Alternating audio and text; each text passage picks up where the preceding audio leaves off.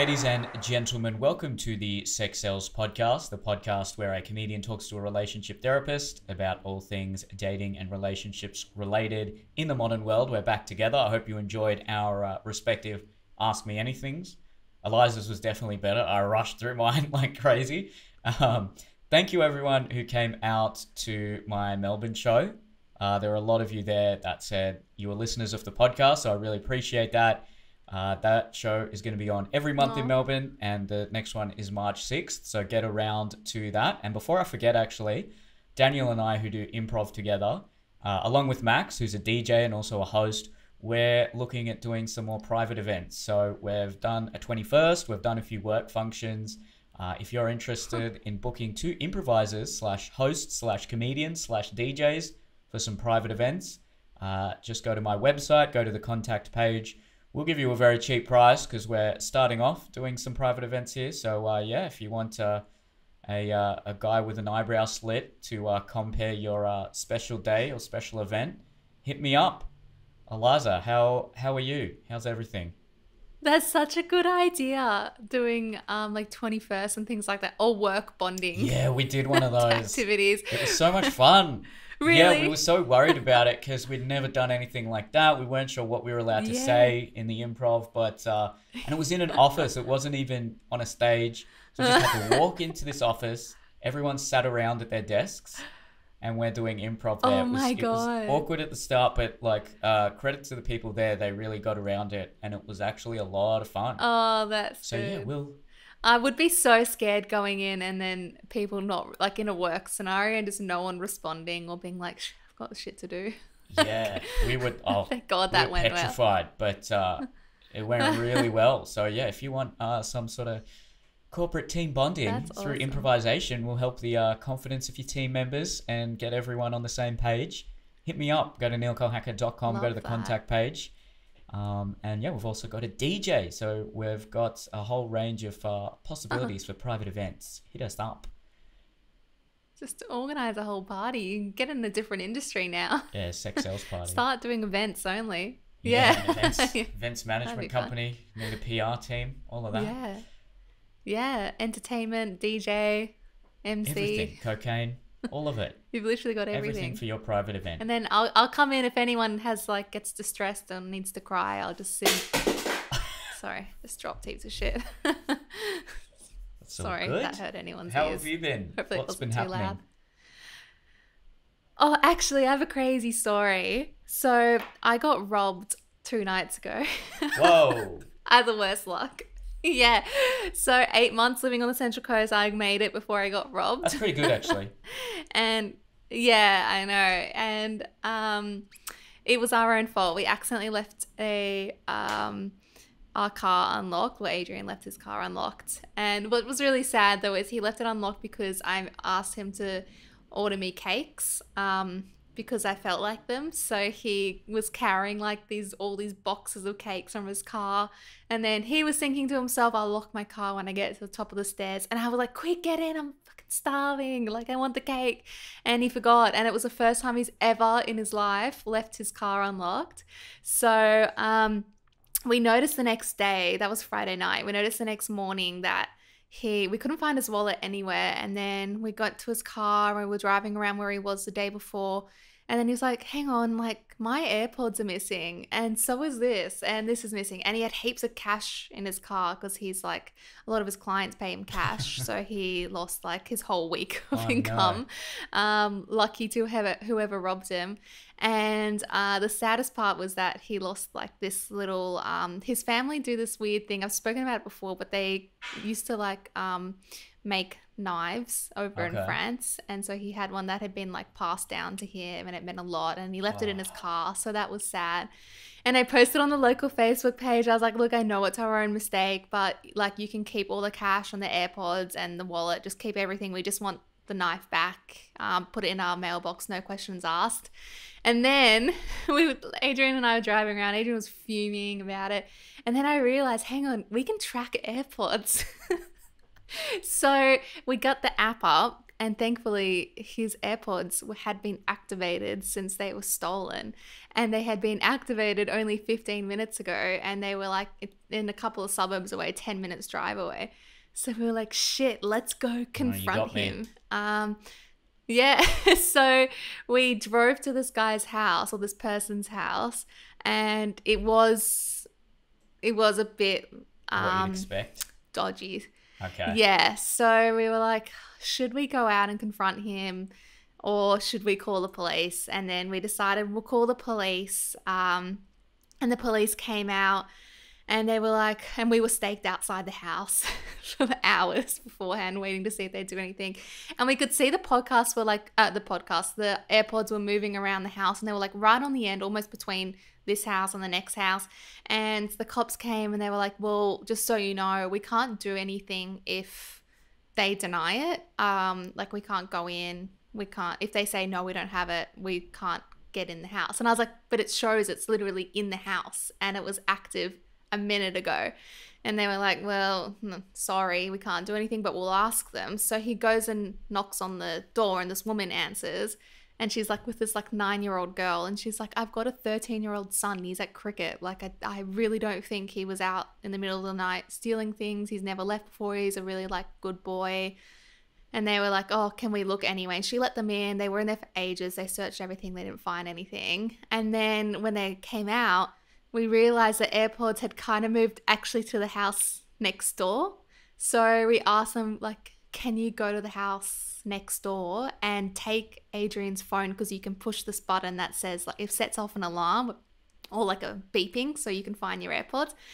So they went next door and then they came out and they were like, no, no, there was just a babysitter there and they're not there. Um, so, but then what was really annoying is that the alarm had gone off, which means he was in like, they were in a 10 minute radius of the AirPods and probably everything else that was stolen.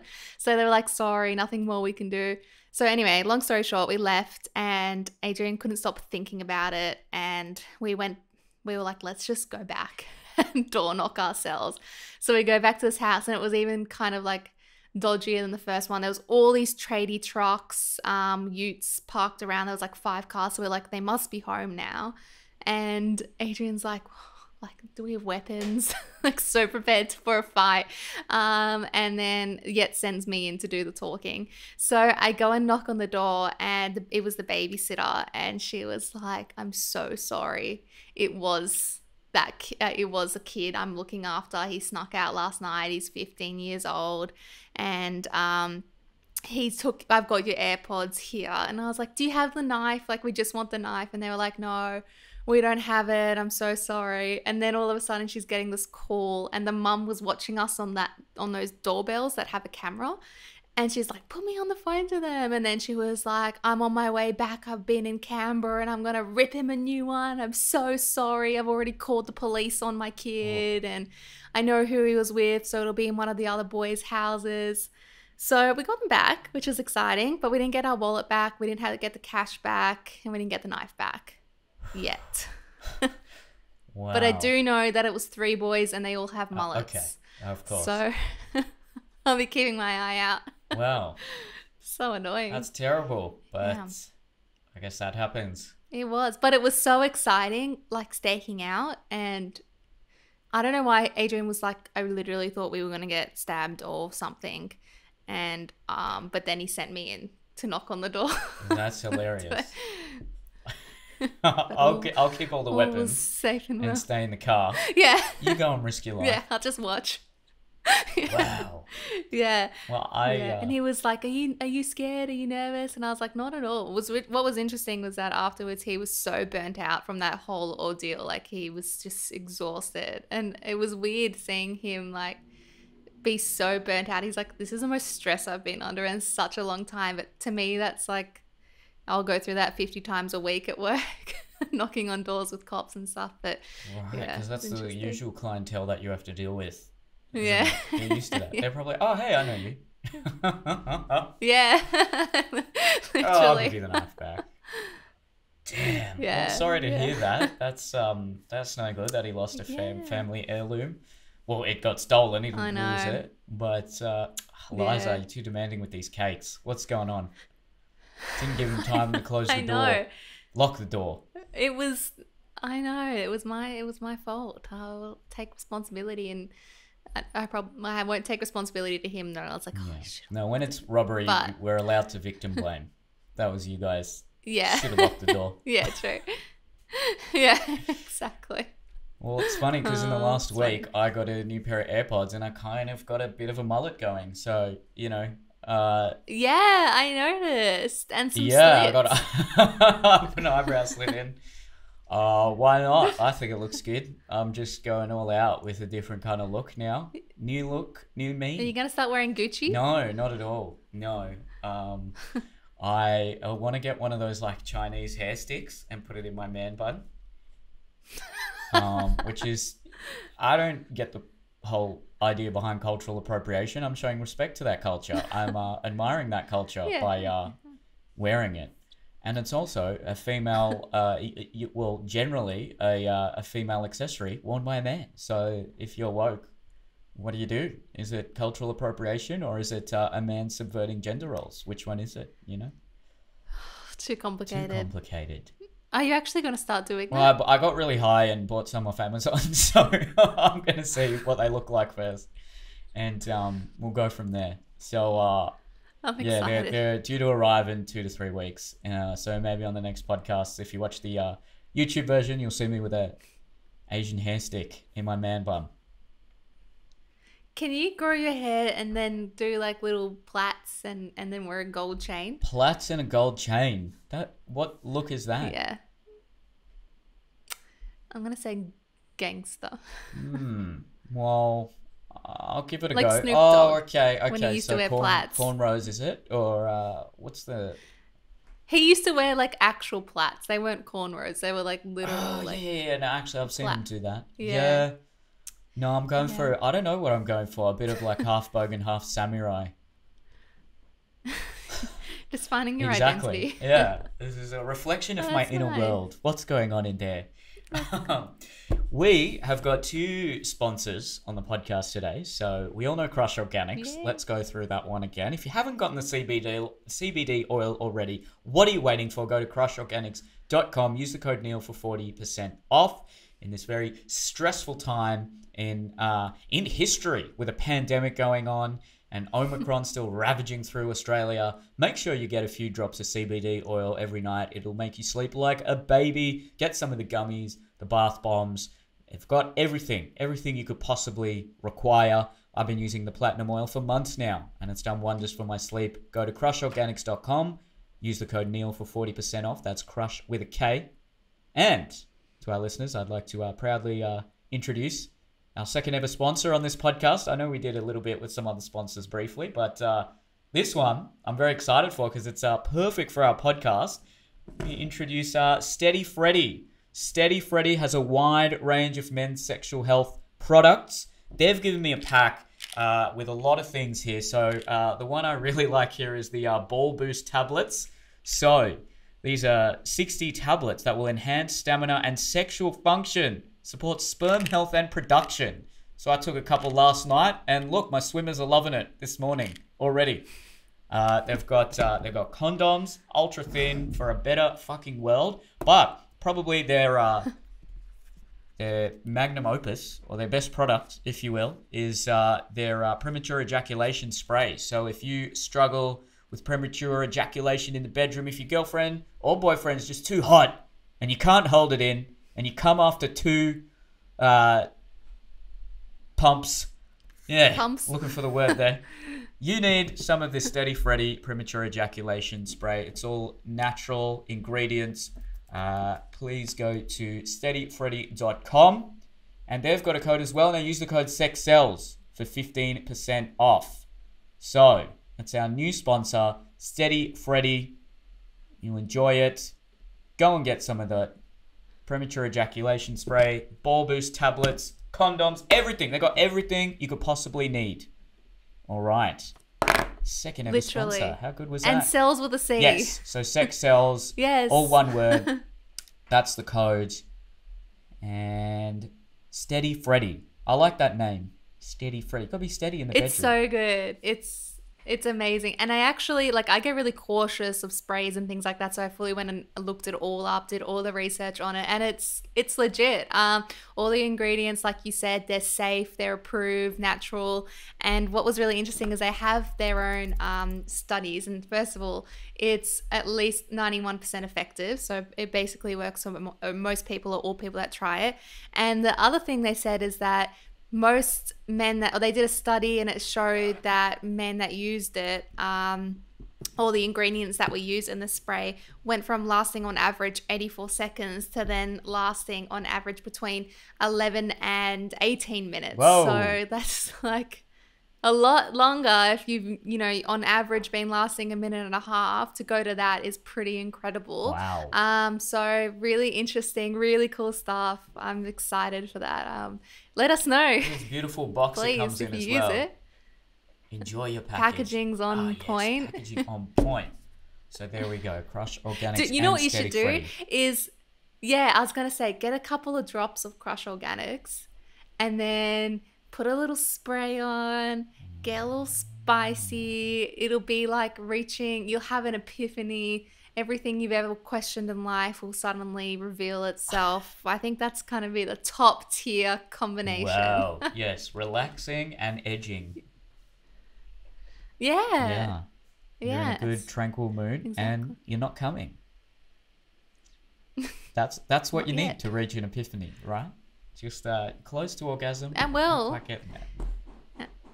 Actually, yeah, they do say that like delaying orgasm can be really good as a mindfulness practice anyway. So, can you hear this knocking from my neighbor, or is it loud? Or can Mm, I heard one very tiny knock, but we're all good. okay, good. okay, good. He does construction twenty four hours a day, literally, so Okay. Can't avoid it. Oh, well, hopefully Love he him. leaves his doors locked, or a kid with a mullet is going to steal his AirPods. Truly had the full Central worst Coast part was- experience. Three teenagers with mullets stole from you. And I want to tell you his name so badly, but I won't. Ty- is it Tyrone? It's the most. It's so similar to that. It's such a Central Coast Okay. name. I'll tell you afterwards. Love that. Such a cliche. I got all the cliches Yes. in one go. Ah, oh, Sunny Coast, bruh. Gozzy is going to be the next big Aussie Ugh. rapper. And uh, maybe those AirPods will start off his fledgling Aussie rap career and he'll thank you. Well, we got them Oh, back, true. so not No. anymore. He's come. His mum took him down to the police oh, station. So that's nice. Yeah, and then she messaged me on Facebook and was like, "I'm so sorry. I'm so mortified. Um, I can't believe my son." And I was like, "Honestly, don't worry about it. This this happens." And the silver lining is this is probably that moment in his life where it changes his path and hopefully scares him straight. Probably not, but let's Yeah, hope. look. she has five kids, Oh, so okay. Got a Okay. handful. Well, then, if you know, Yeah. if three out of five turn out well, you've done pretty all right. Then I think that's a good Yeah, ratio. exactly. Um, I- do remember as a teenage boy, I I think I don't think I ever did any shoplifting, but uh, a few of my friends stole Freddo frogs and condoms and things. It was so sad. Uh, yeah, That's so cute. Freddo frogs and yeah, I know. what a weird combination to steal. Oh, I'm cool. I'm I'm fucking, but I also want a chocolate. Yeah, it's pretty crazy. Like I used to work with these girls and they would shoplift just bags and bags and bags of things. And I was like, God, how did you get away with so much? Like five pairs of shoes, dresses, makeup, thousands of dollars worth of things. Wow. Um, and I was just like, I would never have the balls to carry around. I mean, it's wrong, etc. But I would never have the balls to carry around that much stolen stuff. It was, it's insane how they do it. But yeah, she was like, it's so easy. She gave me all the tips, but I won't share them because I don't want to influence the, the teenagers that may be listening. it's really. Yes, bad. do not shoplift. Do Yeah. not shoplift. Okay, well, after that wonderful introduction, let's uh let's transition into a, a topic that I think we're both gonna find very compelling, and uh, I think the listeners are gonna find very interesting as well. Uh, so we want to dive into well vulnerability, but a, a specific situation where uh, in a relationship one person is showing vulnerability and quite likely crying or being upset, usually about something regarding them or, or related to them in their life, what exactly should the other person do in that situation? Because this goes all the way back to a few weeks ago when I asked that question on my Instagram. What are some green flags in men? And I remember distinctly one answer was when I'm upset, I want him to be upset. When I'm happy, I want him to be happy. And so she was yearning for a man who sort of uh, connected with her emotionally and felt her emotions. But then I've also mm. received messages from, uh, well, particularly women saying, when I'm upset, or uh, in particular, when I'm upset at something my partner has done, he tends to get so upset to the yes. point where I feel like I have to take care of him or he's making it about yeah. himself. So let's dive into yeah. that because those are two contradictory ideas there.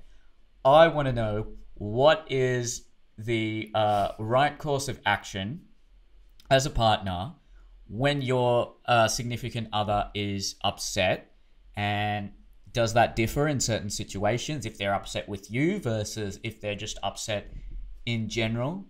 And does that differ mm. for different people? Do some people want their partner to be upset with them and that shows a form of emotional connection and, and bond and kinship? Or do some partners just eh, require their partner to to be a rock in that situation to be a shoulder to cry on and to not make it about themselves because I've had yeah. uh, issues with this in previous relationships as well. Yeah. So uh, I think this also uh, can be related to uh, one of our favorite shows on TV at the moment, MAFS. I just uh, I'm a bit behind, but I'm watching it on Nine now, which I got to say is the worst app in the history of any streaming app. Fix your fix your shit, Nine now. It's absolute garbage. Uh, but sponsor us. Yeah, yeah, sponsor, sponsor us now but oh my god, the ads just pop out of nowhere. You can't find the episode. It's a it's a it's a nightmare. But and it's the same yeah, ad. Yeah. on repeat every time. It's horrible. Yeah, yeah. but uh, I digress. Uh, it's a, it's an interesting show. There's a lot of nudity this year, but uh, specifically, I'm up to an episode where uh, what's her name, Celine Celine. Celine. Celine. And um, yeah. I've forgotten the guy's name, but he's a professional wrestler. Anthony. Anthony. Yeah. Um, yeah. So he's very vulnerable. He's sensitive. He seems like a gentleman. He's a very lovely guy. I love and him. And she yeah. is uh, clearly not attracted to his sensitive side. She's very closed off. Yeah. And I definitely relate. Uh, there's one particular ex girlfriend that was look. It's it's the ethnic girls. All right, they're all like that. Okay, look, they're not all like that, but and it makes sense. They probably grew up with very stoic, masculine fathers that didn't show emotion. So when a man does show emotion, they are not used to that. That's my very mm. rudimentary analysis there. But uh, yeah, mm. uh, she didn't directly say you're not a man, but she would make little comments saying, "Oh, you're gonna go and have a cry. You're gonna go and have a sook," things like that. Calling him princess. Exactly. Yeah. So that's yeah. an example where uh, a man now, I know this is reality TV, it's all sensationalized, but this is just a, a very sort of salient example of a man being vulnerable and it backfiring for him. And, you know, he's an older guy, so I'm sure he's been through the traps and is very self assured. Mm. But for a younger guy, if that were to happen, uh, it would it would make perfect sense for him to shell up in future relationships and not want to show mm. vulnerability and emotion. But then on the on the flip side, yeah. Uh, if she truly is unattracted, uh, with that sort of behavior, that she shouldn't lie about that. That should be out in the open as well. So, uh, what are your initial thoughts on this uh, on this subject matter? Well, yeah, I can. I see both sides. Um, I obviously am on the side that uh, we should be always allowed and safe to feel vulnerable and express our truest emotions. And that was what was really sad about Anthony is that when he was sad and opening up, she was like, you could just see her rejecting it, getting so turned off by him opening up. And it was very much that toxic masculinity kind of shutting that down. This is not the role you're supposed to play. And then even at the start, he would say, like in his audition tapes, he was saying, I'm a gentleman, I'll open doors to people, I'll always be really considerate of how women feel, blah, blah, blah. And she was like, All I want is a man that's considerate and opens doors and blah, blah, blah. So he was everything she was saying she wanted. And then on their wedding night, she was literally like, I'm not used to this and I don't know if I like it.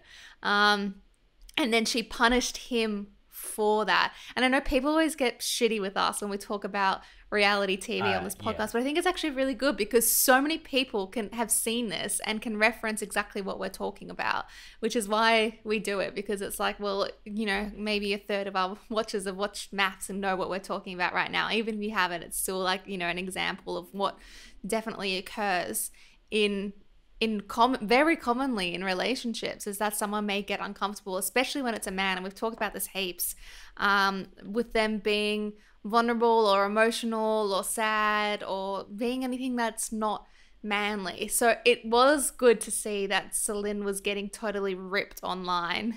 Um, she's just been so hated for the way she has. I mean, I don't want to say that's good, but at least I think most people have the view that what she was doing was not right, and no one is really supporting her in that view, which is good. But in terms of the two contradicting statements, I get it because when I think what she says when you know when I'm crying and I want a man to cry with me and when I'm happy I want him to be happy with me. I think what she's saying is I want someone to share that space with me, like really connect with me and be present in that. I don't think she literally means well, I'm sitting here crying because um, I failed my uni course. You need to cry too. I think she, maybe she had worded it Sure. a little bit like too literally. Um, but she means like I want you present with me, and I think that like my relationship with Adrian is such a good example that when I'm sad about anything other than our relationship, he's so supportive. He's like, "Tell me what can I do for you? What how about you sit here? I'm going to put on a movie. I'm going to make your favorite food." Like he'll go out and buy me flowers. Like he does so much to support me. But when I'm if I'm ever upset about our relationship, it does do that flip where it becomes because if I get upset about something in our relationship, I'm at like a a one out of ten or a two out of ten because I genuinely haven't been ever that pissed off with him for anything. Um, but if I say something small, I can't even think of an example because there really hasn't been anything significant ever. But let's just say I said like you know I'm, I was a little bit upset that you didn't pick me up from the bus stop. This has never happened, just a random example. And, you know, I'm, I come home and I'm a little bit moody because I had to walk in the rain or something.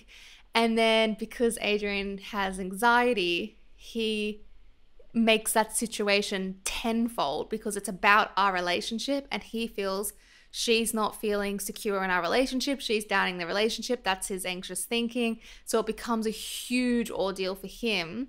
And i'm just here sitting here moody moody not really caring just like eye rolling or whatever. And he's freaking out. And then he might start panicking and then having a meltdown or whatever. And then i end up having to look after him and then i, I experience this actually with all my boyfriends probably because i have similar taste in guys.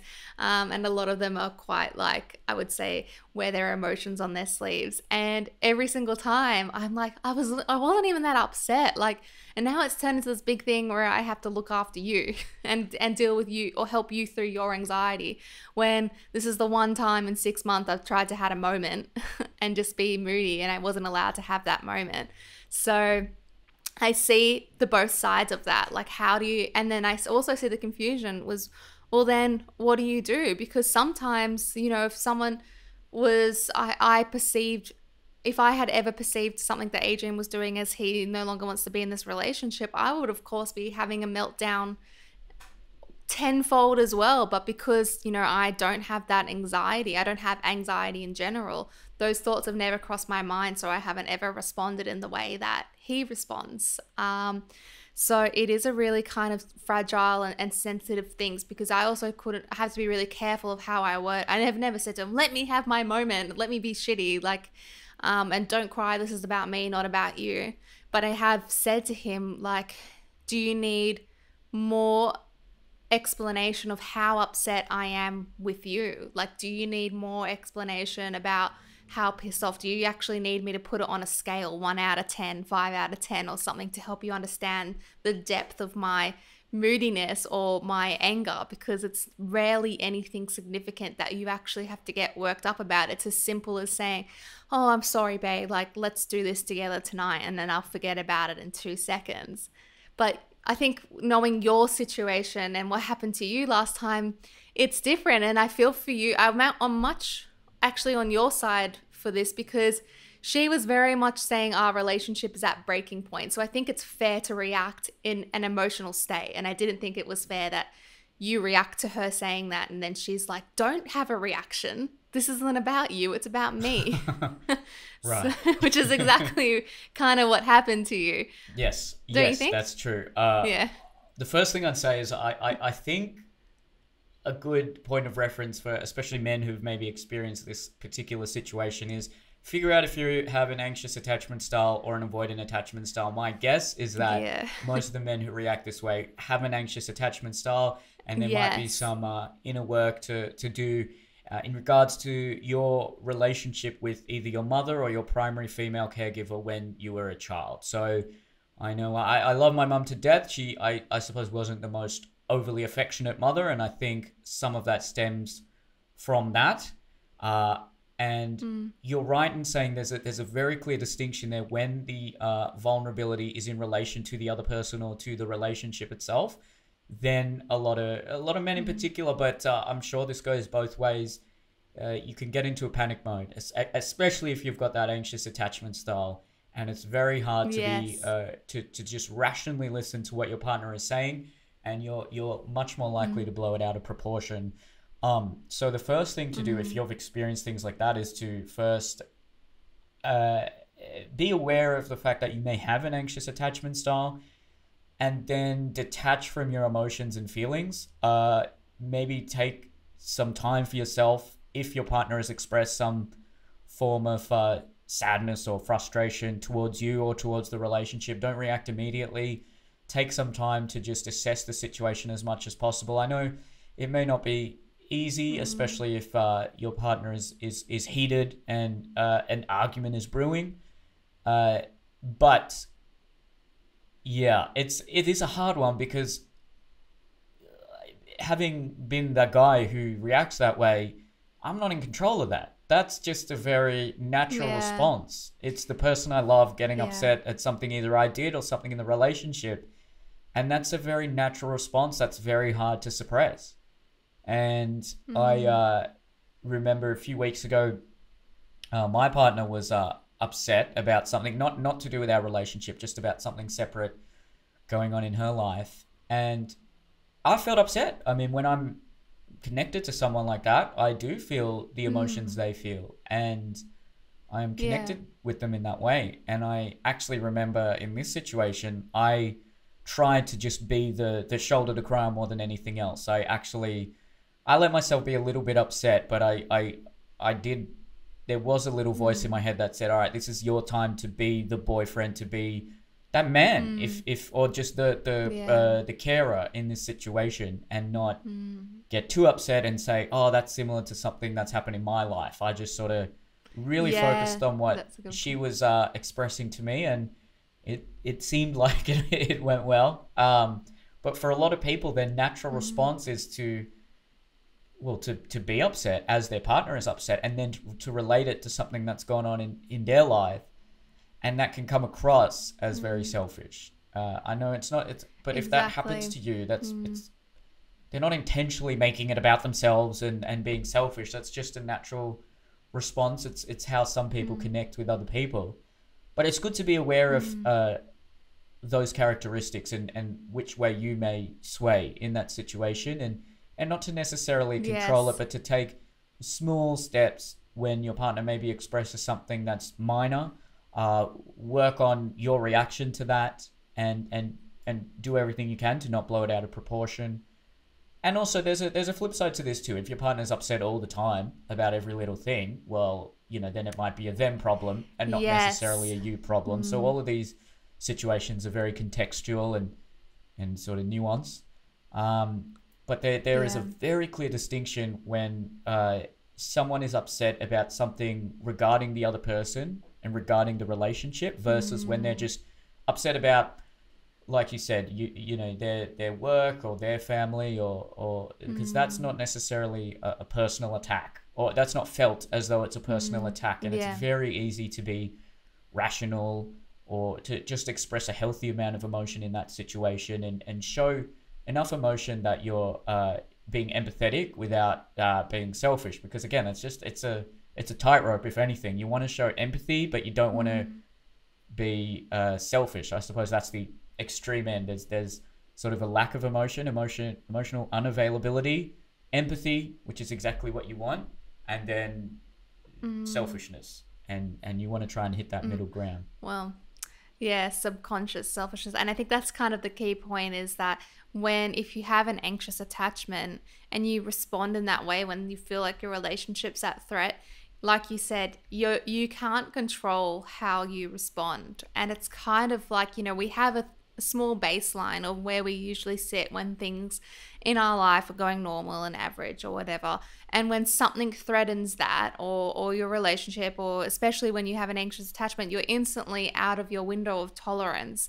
And once you escalate, or so you maybe get what we call like um, hyper aroused, which nothing to do with sexual libido. It just means that you're escalated, or, si- or sometimes it's hypo, where you go like you dissociate and you shut down, which is also something people with anxious attachments can do. And um, once you're in one of those spots, it's really hard to think rationally and think and have that thought process that you had where you were like, I need to, at this point, I need to be the support for my partner. At this point, I need to sit by her and, and nurture her. Because once you're heightened or, you know, too far down, it's all me, me, me, whether or not you can rationalize, oh, I'm being selfish and I'm thinking about me. You don't have those thoughts. It's like, this is not right, this is not right, racing thoughts or completely shutting down. So, before, if you feel that you're outside of your window of tolerance, and the amazing thing is that 99% of people will be able to figure out when they're outside of their window of tolerance. It's basically when you're not feeling like your normal self and you're heightened or whatever. When you feel like that, don't respond until you're back in your window of tolerance. So don't, you know, react or anything. Do what you can to get you back. And for some people, it takes a couple of minutes, um, especially if you've had a healthy childhood. It may take you a couple of minutes. And for other people, it may take you literally two hours before you return to your baseline. But even still, you you need to communicate that to your partner and have that awareness about yourself, saying if you get upset about, you know, my relationship or if you accuse me of cheating when I didn't cheat or whatever, I'm going to freak out and it will take me a couple of hours to calm down before I can have a calm conversation and reassure you and listen to you or whatever. And I also think that what the, the thing I had to learn as the partner with someone with an anxious attachment is that I also have to step out of my selfishness because initially, not with Adrian, but you know, in previous relationships, when I was learning about this and before I really knew about it, I would always be thinking, like, God, this is my time. Like, stop making this about you. Like, I just want to be fucking upset one time without then having to come and look after you or or whatever. Like I don't want to have to be rational. I don't want to have to be therapeutic every single time. Blah blah blah. But now I've realized that, you know, as as someone that is dating someone, I also have a responsibility in this relationship. So if I were to get upset with Adrian, I literally say to him, um, like this doesn't mean anything about our relationship. Everything is really, really good. I'm still like, you know, I still love you, still adore you. I'm just a little bit moody because of this, and this is what I need from you. So I actually have to kind of pre explain what I'm going to be saying to him and, and, setting the scene in that it's not a crisis. Um, and that's something that I've had to learn, and it, which was difficult because you know you don't want to have to. You when you're pissed off and you're angry at someone, you don't want to have to then say, "Don't worry, I still love and adore you," because you're mad. But that's something that I had to do, and so that we can have an effective and gentle communication without any escalations. Hmm. It looks like I'm crying. I'm no. sorry. I've got something in my eye and it's burning. Oh, you're just thinking about how wonderful Adrian is and you're crying. Okay. I look like I've got pink eye in one eye. um, what that could indicate if a if a partner is getting extremely upset when you're bringing up issues in the relationship or with them is that they really adore you and you mean a lot to them and, and your relationship means so much to them and that can often mm. be misconstrued as jealousy and, and possessiveness and all these negative words which what is the there's not that much of a difference it's just the way these things are interpreted. Oh, this person's possessive versus Mm. this person cares so much about the relationship that they're not in their right mind when one issue is brought up because they want it to be as good as it possibly can be and it reflects on them s- to such a degree. It's all how you just perceive it. Exactly. it. So I would Yeah. encourage people who maybe experienced this uh, to to just change their perception about it. I'm not saying to ignore it by any means, but um, it, it's not that they're being selfish. They can't they can't control that feeling. Uh, it's if anything, it's that they value this relationship in you more than anything else in their life, and so in that way, it can be perceived as very Yeah, romantic and, and, and noble.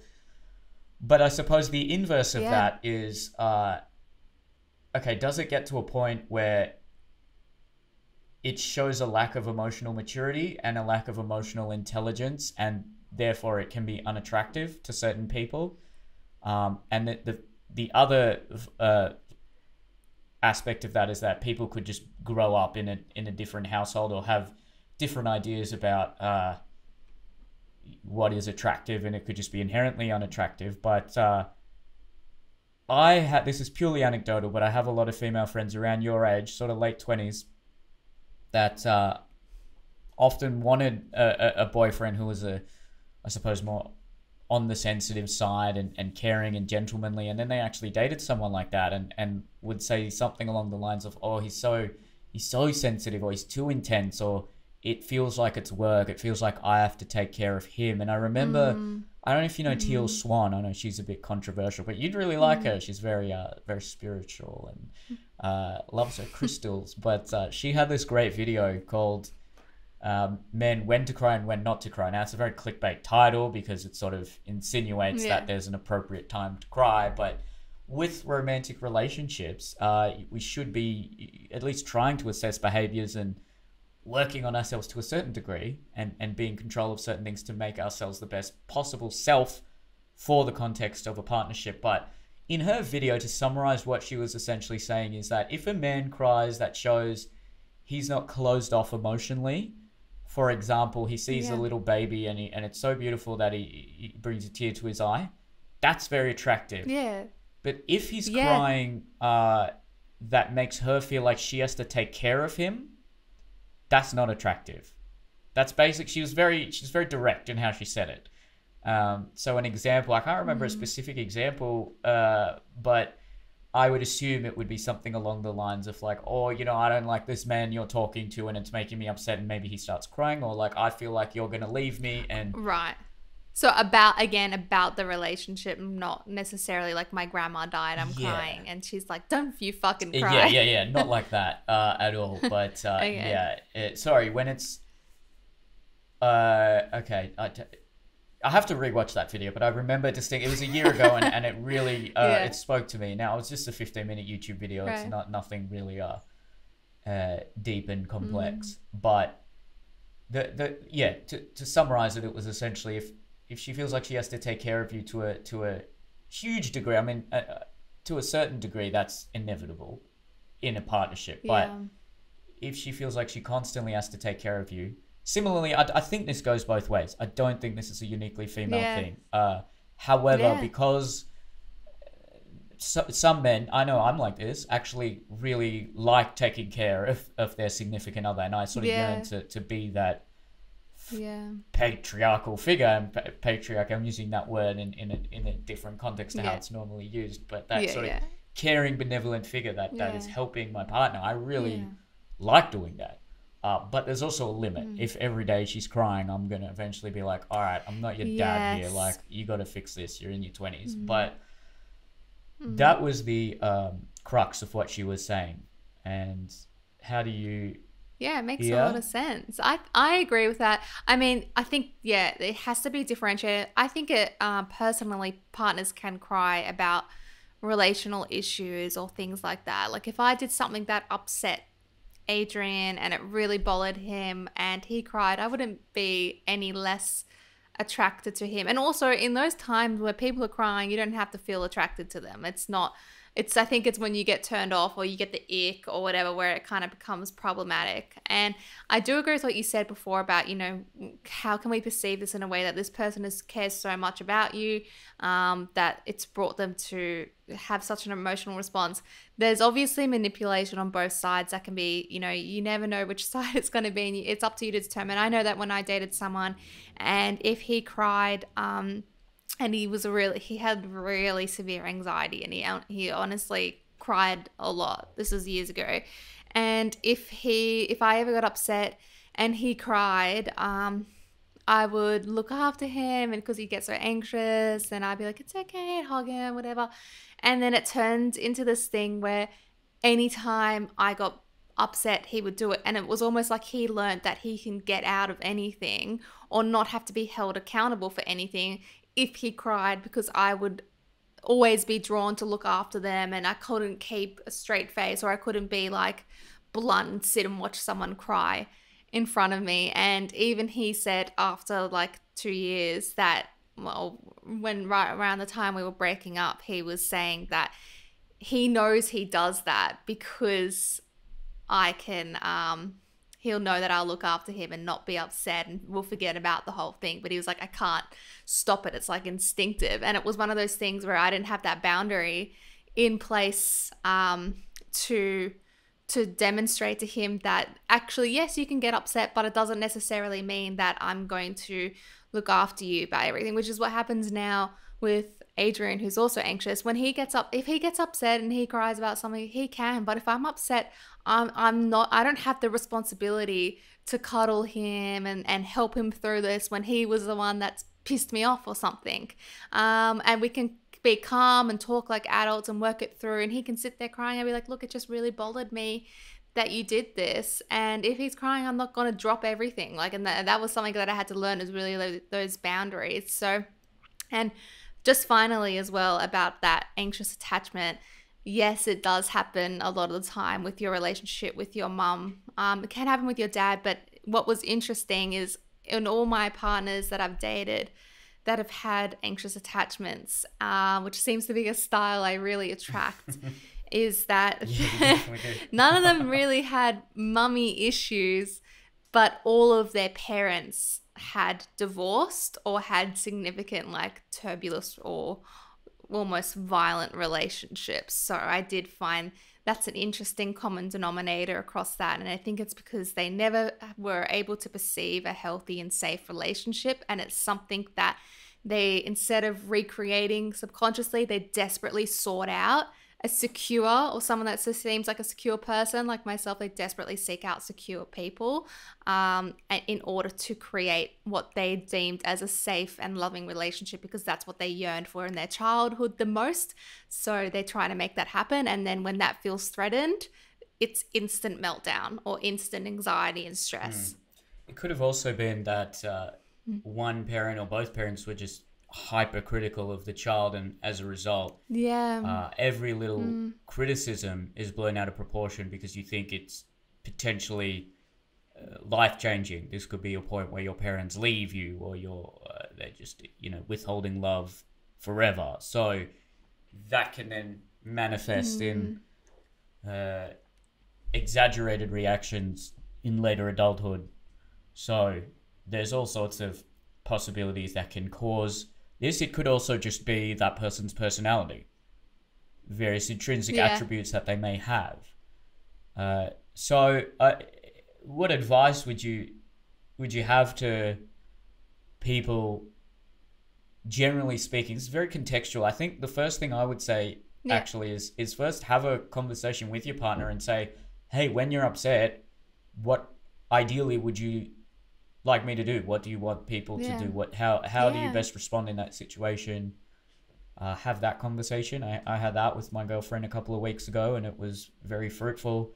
So uh, it was definitely not something I did in earlier relationships, but have that conversation yeah. and how you know how, ask them how how best can you feel heard what what should the other person yeah. be doing? Do you want them to relate it to certain things, and does that help you feel connected to them, or would you rather them just listen and respond, or some people actually want. Uh, I was actually my girlfriend's different in the sense that she actually wants problems to be solved because a lot that sounded Perfect for you. You're like, yeah, yes. I'm like yeah, perfect. Winning. But I was talking to her and, and then yeah, I was articulating that uh, a lot of men don't understand that uh, women just want someone to express empathy and, and sympathy rather than to be the logician that solves everything. But she was saying, no, no, no. If I Hmm. have a problem, I'll only express it if I actually want it to be solved. Otherwise, it seems like a waste of time. And I'm like, oh yeah, I got, I got, I got a winner here. Hey. Uh, so Yeah. yeah. it's good to have that conversation because people differ. Um, yeah. yeah, uh, a lot of men will say, myself included, when you hear girls saying, we want someone who's vulnerable, we want someone who shows emotions, first of all, we wonder if it's reactive or proactive. So, did they just come out of a relationship where the mm. man was emotionally unavailable or you know, grow up in a mm. culture where men were very stoic and never spoke about their feelings at all. And as a result, they've sort of romanticized the idea of an emotional man, like one of those characters in a romantic comedy who is very expressive with his emotions, but also very attractive and intense and loving. But then when they actually Yeah. uh, have that relationship, or, or, or men will go through a relationship with these women, that the first couple of times they express emotions, it's perceived really positively. And again, this is anecdotal. I don't know what the overall trends for this are, but there actually there are statistics that say when men have shown emotions, uh, it's often backfired. Something like fifty percent of men said that.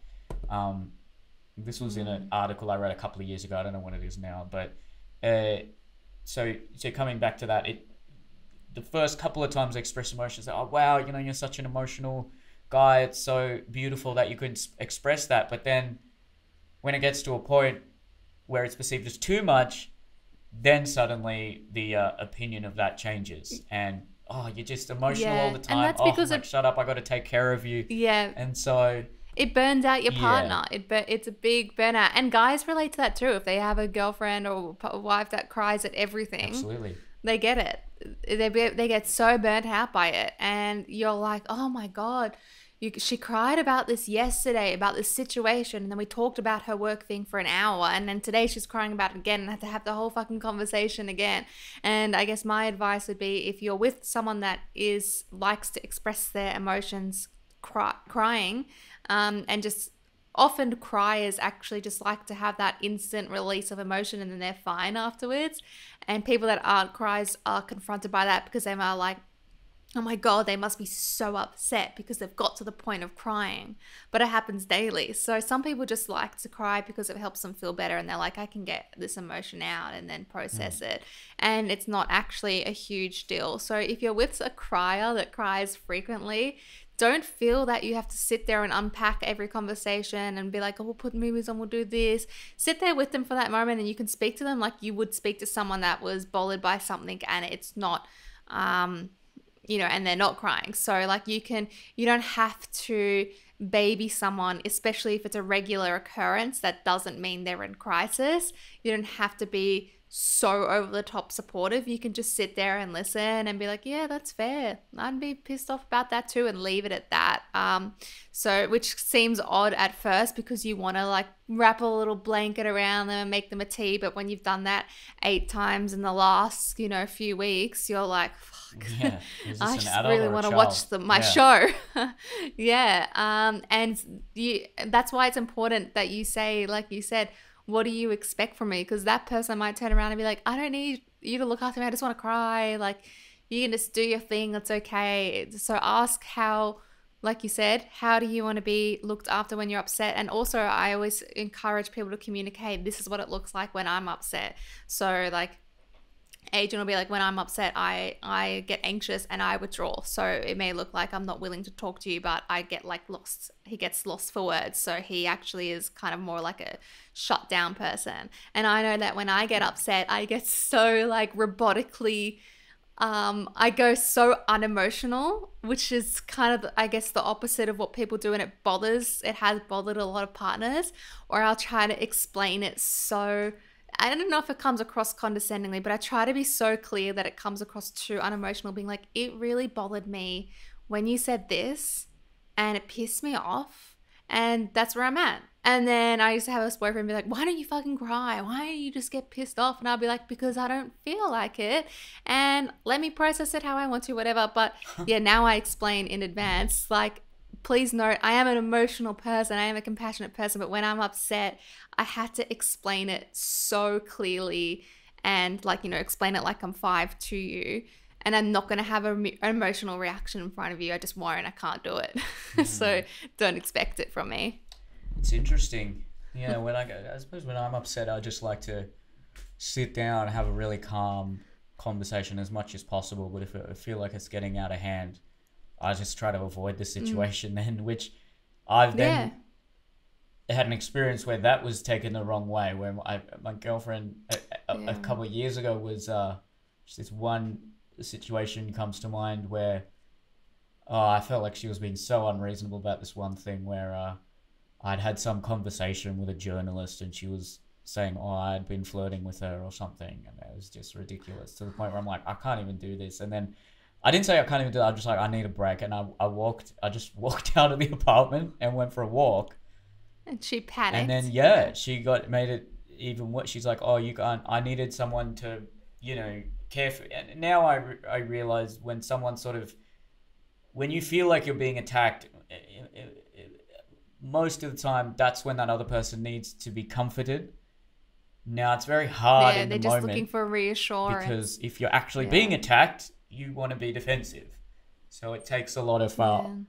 emotional maturity there to say, "All right, look, hey, hey, hey, look, you know, I'll just just comfort the person." But uh, that that can also uh, create problems when, like we both said earlier, um, when you're in a heightened state of emotional arousal, you should just distance yourself from the situation because the other person can take that personally as oh you're just walking oh you can't handle the heat or like you just giving up yeah. on on you know you can't handle me at my worst that kind of mentality and that can add another degree of uh, complication to the situation but i think a lot of this can be ameliorated if you have that conversation with your partner when everything's going well and say, hey, when you're upset, and let's yeah. even talk about when you're really upset, when when when you're almost at breaking point, what do you want from the other person? And it's probably good to have mm-hmm. that conversation regularly so you're reminded of it because again, when you're in an argument, you're not always well you you are not thinking rationally and you you sometimes yeah. have to be reminded of a few of those uh, expected behaviors. It's so true. Yeah, because when you're upset, you don't want to often you don't you can't think. You can't say when someone says, "What can I do for you?" You can't think in advance or on the spot. But you're like, I don't know. I don't know. Like Adrian says that all the time if he's upset. And I say, Do you want space? Do you want to talk? I don't know. I don't know. Now we've had that conversation, obviously. What do you want to do? And there is such a routine for if he gets upset or anxious, it's literally I turn on Lord of the Rings and I order him something sweet. That's it. That's all he wants. Lord of the Rings and that's something adorable. sweet to eat. And that's like his like little self-care strategies. He's obsessed with Lord of the Rings. Um so he watches it like like once a fortnight when he gets stressed about something or whatever. But I don't have to ask anymore. Um I know I know what to do. And he I'll be like, do you want to have a bath? No, no, no. Like, I don't know, I don't know. And as soon as I do that, he's just calm and like, he's like a baby, literally, just calm in 10 minutes. Wow. Um, so it's good to know like what is someone's self-care it's strategy how, what makes them feel good yeah so cute sorry do me an intro no no that's that's all. I don't have something that i need. Like for me if i'm upset. Like i don't i, I don't know. I couldn't even i couldn't answer it because i'm like ah it doesn't really happen that often so i don't know. Um i don't really even now when someone would be if he came and asked me right now I'd be like, oh, I don't know. Sometimes I don't really want to f- talk about it, or I just for me, it's just don't push me if I don't feel like talking about it. Mm. don't make me saying like, oh, make you feel better. Uh, but Adrian's a very like nurturing. He's so he's such a nurturer that it's very instinctive. He'll just do like fifty million things for me, and then hope that one one of them sticks. Um, like his love language is very strongly acts of service. So he'll be like, "Oh, I hung out your washing. I cooked you dinner. I cleaned this. I did this. Um, I've got you this. I bought you this online." Like he just loves to do things for people, uh, which is good for me. So that's great. Yeah, and as long as that's yeah. not uh, misinterpreted as manipulation because it's it's clearly not. Yeah. It's clearly just a show of uh, gratitude and love, uh, an expression, I should say. Yeah, I, I think when I'm upset, I need a little hit of serotonin, so I need to go and actually do something else and, and feel a little sense of accomplishment. So I'll, I'll go and do a workout or read something or I wish I had that desire to work out when I'm stressed. Ah, I'm so jealous. That's so good. Suppose it is, yeah, because then every time I've had a, whenever I experience a really bad hangover or I feel like I've uh, uh, indulged in too many hedonistic activities, I immediately get back into work mode and organizational mode, and I'll Ugh. write write a list of things I need to do and uh, in order to feel That accomplished. is a dream. You're so good like Well- that. I feel like if you and I combined into one person, it'd just we'd be such top tier. everything I lack, you have. What do I lack? and everything you lack, I have, I what do I lack? I'm not saying. I'm just kidding. Nothing. Absolutely nothing Not at all. compassion- I'm too rational. Femininity, Yeah, how yeah, about that? All right. Yeah, rational thinking. Hmm. That's it. You're you're all logic and I'm all heart. thing? And we gotta get No, it's not. And it's not bad to be all heart either. They both have pros and cons. Yeah, We you need a third person that's all gut. yeah. Yeah, right, right. You need a balance in society. Well, do you? I don't know. Anyway, that's a different podcast. Is your is your partner also like you in that she's really very similar. and things like yeah, that? very. I figured out we're Yeah. very, very similar people. Uh, and she did that Yeah. uh, test from Why Him, Why Her, and she's also a Hmm. builder director, which actually surprised me because I've she's got to do that. I about that. very compassionate as well. And I thought she'd be a, maybe a builder negotiator or negotiator builder, but no, she's also uh, has to some degree an obsessive mind. She's very uh, passionate about psychology, and and she just got into masters Yeah. as well. So shout out to her. Wow, Um, congrats. and yeah, we're very, She very similar. like we have very similar upbringing as well, even though she's not Mm. Indian, but similar s- cultural similarities. Growing up with Mm. a, a migrant family and going to a selective school, and we even grew up in very similar Oh. areas. So yeah, um, Isn't that interesting? really, really Some things I feel like so you, far. you it's so good to align with your partner on those things. Like especially like, you know, if you're if you're a real head thinker and or a real heart thing. like Adrian and I both heart, we're both like not to say you guys aren't the nurturers or anything like that. You are a very nurturing person, but we always decide like, does this feel good? And that's how we make our life decision. Whereas you're like, let's make this plan. Let's let what is the logically the best thing I can do for my life? How can I better myself? Like you think about it all through your head. So I think it's mm-hmm. important actually. It's really good when it matches with your partners, although sometimes I'm sure it'll be better to a little get a balance from someone else. But I'm sure that if you and I had dated, we would clash on so many things. We would just be so clashing because we're so different like that. yeah, probably. yeah, I think my uh, ex was. Uh, Yeah. we were opposites. We were polar opposites, and uh, it's just Yeah. a classic cliche where there was just this intense attraction initially, Yeah. and but we were completely Initially. different. That's we when- were yeah. actually diametrically Yeah. opposed. Like she's very, like I think she is. Yeah, definitely a feeler and uh, a feeler, Yeah. a cop and a feel. Uh, she would go. She was very adventurous. She wanted to go uh, to a different location every every couple of weekends, go and explore. Mm, Uh, yeah. went to India to you know find herself and very Oh, wow. uh, a lot of people would say Spiritual? yeah what no not that spe- see I'm actually more in that kind of like I do meditation and got essential oils or whatever Mm. but um she Nice. she it's not like she wasn't organized um she's very organized but we also clashed politically and ideologically on certain things and i remember Yeah. one thing that just that was like near the end of our relationship i'm like okay we're not compatible um i was talking to her about my uh, my mortgage or something and she was like why'd you buy a place so young and i'm like all right we're not we're just not the same people like that just just like so much stress bubbled She up get from her Yeah. even saying something like that and uh, that was like a, a real point where I said, "Oh wow, Yeah. this isn't." But then, even when it ended, it, it yeah, the like anxious attachment definitely came out. Uh, but I also, you know, people should end things in person. I think. Don't do it over message. Did you not? She didn't. No. So I think that's, I think that's not nice. But Shame. anyway, it is what it is. I'm in a very, Yeah. very happy, fulfilling relationship now.